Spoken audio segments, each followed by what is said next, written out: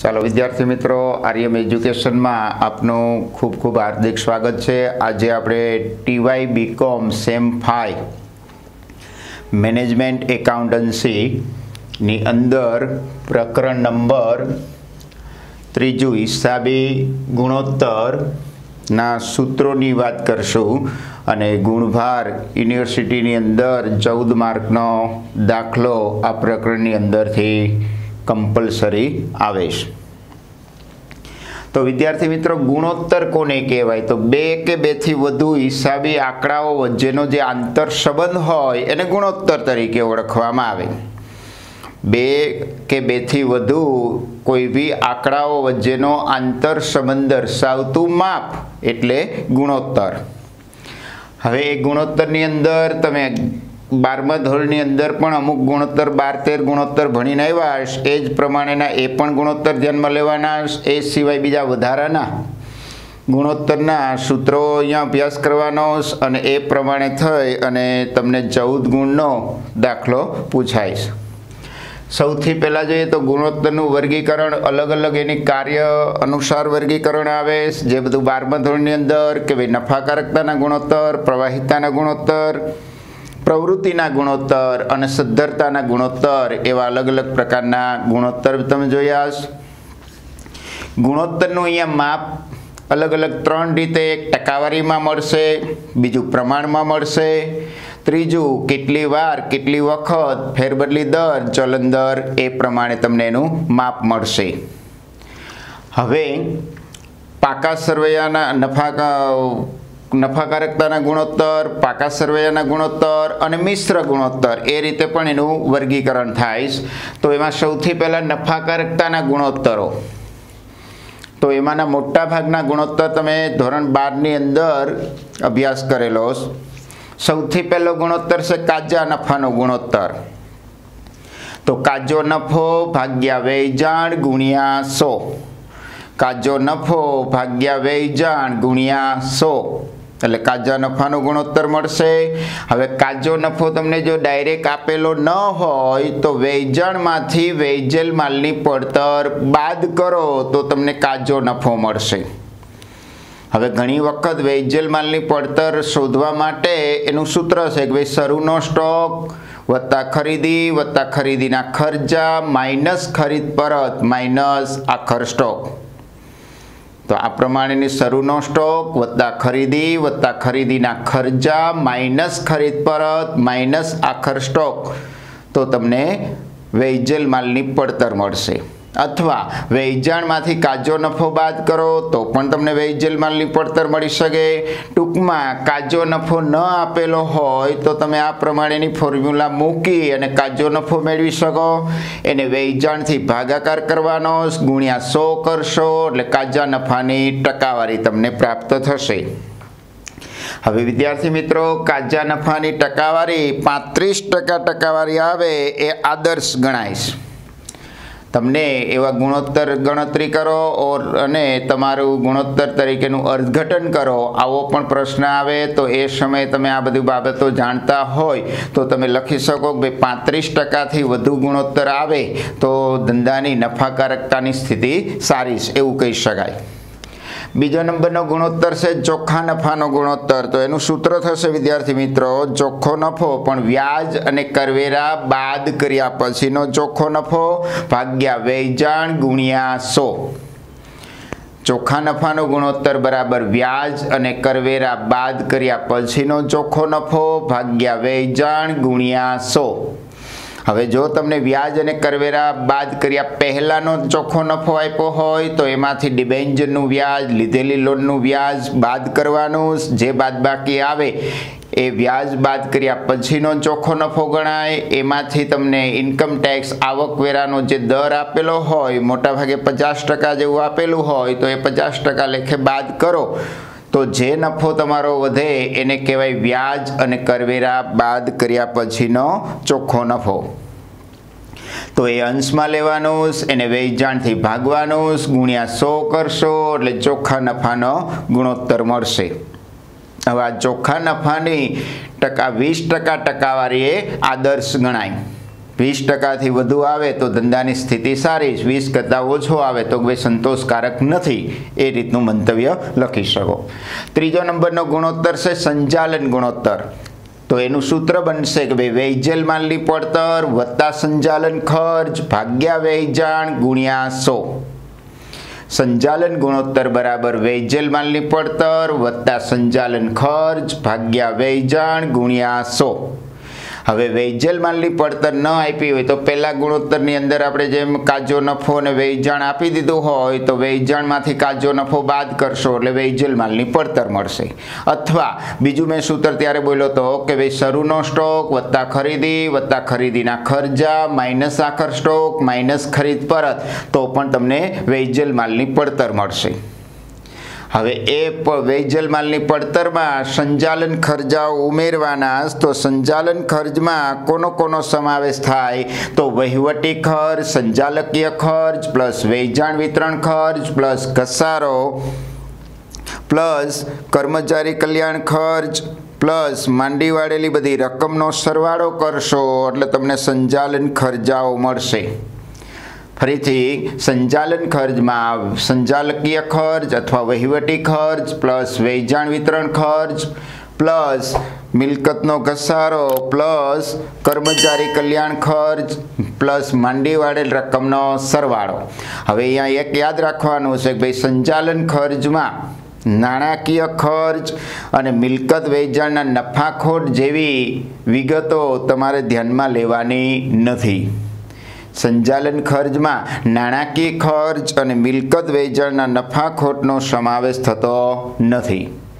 હવે ચાર નંબરનો ગુણોત્તર. અહીં સુધીના ત્રણ ગુણોત્તરની અંદર ત્રણેયમાં પહેલાં ભાગાકારમાં વેચાણ આવશે કાજા નફામાં અંશમાં કાચો નફો આવશે ચોખ્ખા નફામાં અંશમાં ચોખ્ખો નફો આવશે અને સંચાલન ખર્ચ ગુણોત્તરમાં સંચા વેજલ માલની પડતર પ્લસ સંચાલન ખર્ચ આવશે, ત્રણેયની ગુણાકારમાં સો આવશે. હવે ખર્ચ ગુણોત્તર. તો ખર્ચ ગુણોત્તર બરાબર ખર્ચ લેવાના ભાગ્યા વેચાણ ગુણ્યા સો. હવે ખર્ચની અંદર અંશમાં દરેક પ્રકારના ખર્ચ અલગ અલગ લઈ અને સાથે પણ શોધી શકાય. કે ભાઈ વેચાણ ખર્ચનો ગુણોત્તર શોધી શકો. વહીવટી ખર્ચ, સંચાલકીય ખર્ચ વેચાણ વિતરણ ખર્ચ, એમ અલગ અલગ પ્રકારના ખર્ચનો અલગ અલગ ગુણોત્તર શોધી શકો અથવા બધાના સાથે લઈને. તો તમને જેમ પ્રશ્નની અંદર દાખલામાં જણાવ્યું હોય એ પ્રમાણે ગણવાનું તો આ બધા ચાર ગુણોત્તર હતા. એ બધા ગુણ્યા ગુણ્યા સો થશે એટલે એનું માપ તમને ટકાવારીમાં મળશે. હવે પાંચમો ગુણોત્તર છે સ્ટોક ગુણોત્તર. તો સ્ટોક ગુણોત્તર માટે વેજેલ માલની પડતર ભાગ્યા સરેરાશ સ્ટોક. એમાં ગુણ્યા શો નહીં આવે, આનો જવાબ ફેરબદલી દર જલંદરમાં મળશે. સ્ટોક ગુણોત્તર બરાબર, વેજલ માલની પડતર, ભાગ્યા સરેરાશ સ્ટોક. વેજલ માલની પડતરનું આગળ આપણે જોઈ ગયા કે ભાઈ વેચાણમાંથી કાચો નફો બાદ કરો, તો પણ તમને વેજલ માલની પડતર મળશે. વેજલ માલની પડતરને ચોખ્ખી ખરીદીની પડતર કહેવાય અથવા વ્યવસ્થિત ખરીદી પણ કહેવાય. અથવા શરૂનો સ્ટોક, વત્તા ખરીદી, વત્તા ન નોંધેલ ખરીદી, માઇનસ ખરીદ પરત, માઇનસ આખર સ્ટોક. હવે સરેરાશ સ્ટોક શોધવા માટે શરૂનો સ્ટોક પ્લસ આખર સ્ટોક ભાગ્યા બે. શરૂઆતનો સ્ટોક પ્લસ આખર સ્ટોક ભાગ્યા બે કરશો એટલે સરેરાશ સ્ટોક આવશે. વેજલ માલની પડતરને સરેરાશ સ્ટોકથી ભાગાકાર કરશો તો સ્ટોક ગુણોત્તરનો જવાબ આવશે. માનો કે પાંચ વાર આવ્યો તો પાંચ વાર અથવા વખત અથવા પાંચ વખત સમય. ફાઈવ ટાઈમ્સ એ રીતે સ્ટોક ગુણોત્તરનો જવાબ દર્શાવવાનો છે. તો આ હતા વિદ્યાર્થી મિત્રો નફાકારકતાના ગુણોત્તર. હવે બી નંબર છે પાકા સરવૈયાના ગુણોત્તર. તો પાકા સરવૈયાના આ બધા જે નફાકારકતાના પાંચ ગુણોત્તર તમે ઓલરેડી બારમા ધોરણની અંદર ભણીને આવ્યા છો પાકા સરવૈયાના ગુણોત્તરમાંથી પણ અમુક અમુક બારમા ધોરણની અંદર ભણીને આવ્યા જે વધારાના નવાશ એને અને જે ભણીને આવ્યા એ બધાની સૂત્ર સાથેની માહિતી જોઈએ તો પહેલો નંબર છે ચાલુ ગુણોત્તર.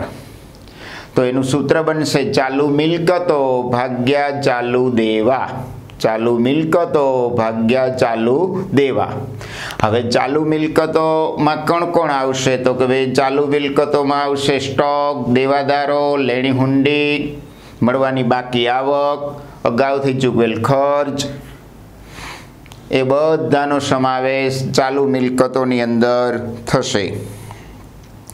તો ચાલુ મિલકતો બરાબર રોકડ સિલક, બેંક સિલક, માલનો આખર સ્ટોક, દેવાદારો, પ્લસ લેણી હુંડી પ્લસ અગાઉથી ચૂકવેલ ખર્ચ, પ્લસ મળવાની બાકી આવક, પ્લસ રોકડમાં તુરત જ ફેરવી શકાય તેવા કામચલાઉ રોકાણો. આ બધાનો સરવાળો કરશો એટલે તમને ચાલુ મિલકતો મળશે.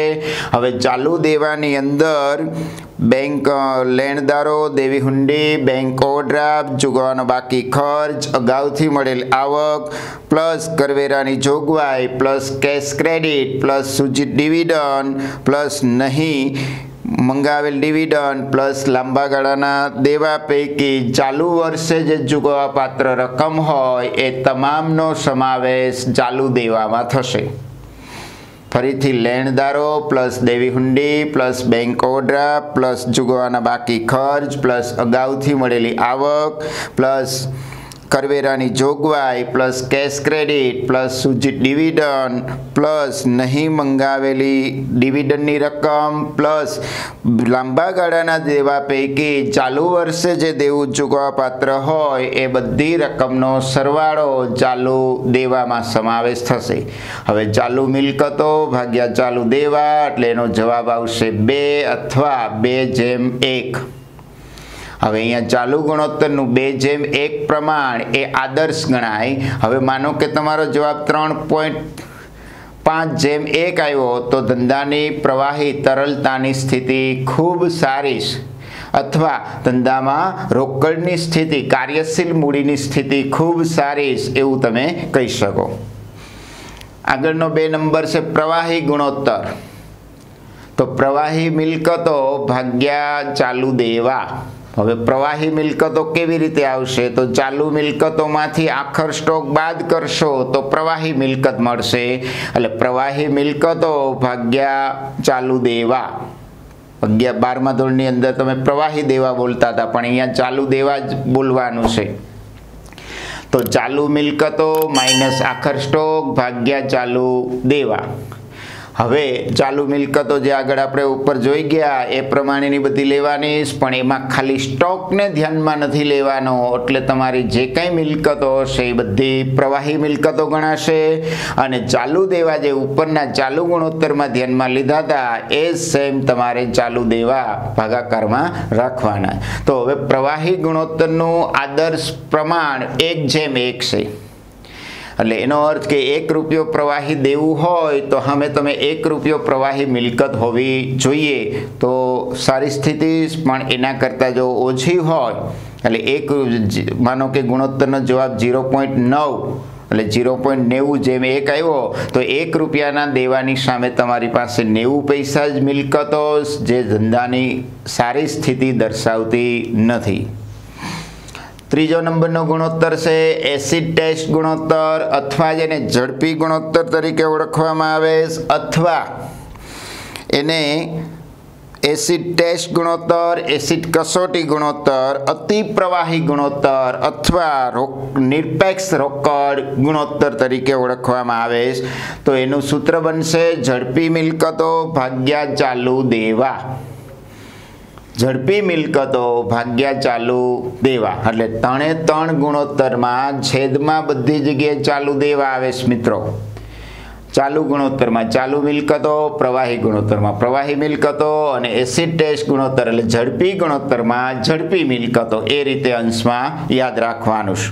અને આનું જવાબ પ્રમાણમાં આવશે એટલે ગુણ્યા સો આવશે નહીં. હવે ઝડપી મિલકતોમાં કોણ કોણ આવશે? તો કે રોકડ શિલ્લક બેંક સિલક અને તરત જ રોકડમાં ફેરવી શકાય તેવી જે કંઈ શેર જામીનગીરીઓ હોય, એ બધાનો સમાવેશ ઝડપી મિલકતોમાં થશે. આગળનો ચાર નંબર માલિકી ગુણોત્તર, જે પણ તમે બારમા ધોરણમાં ભણી ગયા કે ભાઈ માલિકીના ભંડોળો ભાગ્યા કુલ ભંડોળો ગુણ્યા સો.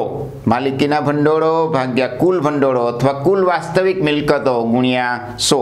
હવે કુલ ભંડોળો કેવી રીતે આવે? તો કે કુલ મિલકતોમાંથી અવાસ્તવિક મિલકત બાદ કરો એટલે કુલ ભંડોળો આવશે અથવા કુલ વાસ્તવિક મિલકત. કુલ વાસ્તવિક મિલકતમાં બે જ મિલકત, ચાલુ મિલકત, કાયમી મિલકત. અવાસ્તવિક મિલકતને ધ્યાનમાં લેવાની નથી. માલિકી અથવા માલિકીના ભંડોળો બરાબર ઇક્વિટી શેર મૂડી, વત્તા પ્રેફરન્સ શેર મૂડી, વત્તા અનામત અને વધારો પ્લસ નફા નુકસાનની જમા બાકી. અને એમાંથી તમે અવાસ્તવિક મિલકતો બાદ કરી દો તો એ માલિકીના ભંડોળો મળશે. હવે માલિકીના ભંડોળોને કુલ ભંડોળોથી ભાગી ભાગી નાખવાના અને ગુણ્યા સો કરશો, એટલે માલિકી ગુણોત્તરનો જવાબ આવશે. માલિકી ગુણોત્તર જેમ ઊંચો, તેમ ધંધાની માલિકીની મૂડીનું પ્રમાણ ઊંચું એવું કહી શકાય. ત્યાર પછી દેવા ઇક્વિટી ગુણોત્તર, તો એની અંદર લાંબા ગાળાના દેવા, ભાગ્યા માલિકી ભંડોળ ગુણ્યા સો. જે પણ બારમા ધોરણની અંદર તમે ભણાશ કે લાંબા ગાળાના દેવા, ભાગ્યા માલિકી ભંડોળ ગુણ્યા સો. ઘણી વખત અહીંયા કુલ દેવા ઇક્વિટી ગુણોત્તર પણ કે, તો તમારે લાંબા ગાળાના દેવાને બદલે કુલ દેવા લેવા. કુલ દેવા બરાબર લાંબા ગાળાના દેવા પ્લસ ચાલુ દેવા, એટલે કુલ દેવા મળશે. ત્યારબાદ મૂડી ગિયરિંગ ગુણોત્તર.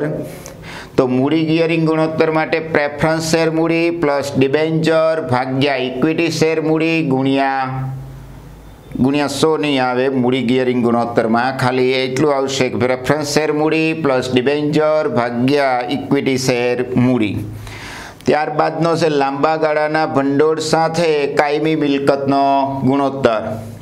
તો લાંબા ગાળાના ભંડોળો ભાગ્યા કાયમી મિલકતો ગુણ્યા સો. સેમ સૂત્ર પ્રમાણ, નામ પ્રમાણે લાંબા ગાળાના ભંડોળો અંશમાં લેવાના કાયમી મિલકતો છેદમાં લેવાની ગુણ્યા સો.